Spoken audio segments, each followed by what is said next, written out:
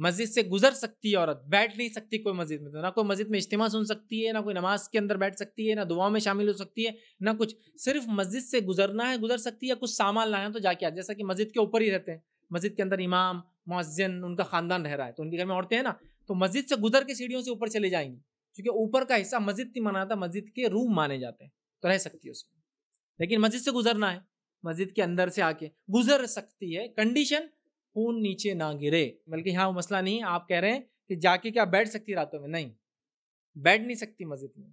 किसी भी नीयत से दर्ज के नहीं फला फलान हाँ मस्जिद में कोई ऐसा रूम है जो मस्जिद का हिस्सा नहीं, औरतों के लिए इंस्टीट्यूट है।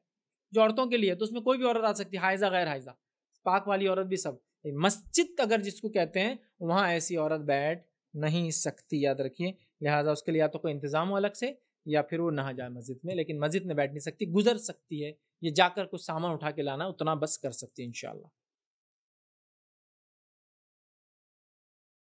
असलकुम आप भी हमारे इस काम में ताउन करें, अपनी जक़ात और सदक़ात के ज़रिए। डोनेशन डिटेल हासिल करने के लिए डोनेट अस पर क्लिक करें। अगर आपको हमारा वीडियो पसंद आए तो इसे शेयर करें और सवाब के हकदार बने। रोज़ाना हमारे नए वीडियोस पाने के लिए यूट्यूब चैनल को सब्सक्राइब करें और बेल आइकन दबाएँ। हमसे दीगर सोशल मीडिया पर जुड़ने के लिए वीडियो में दिए गए आईडीज़ को सर्च करें। जजाकल्ला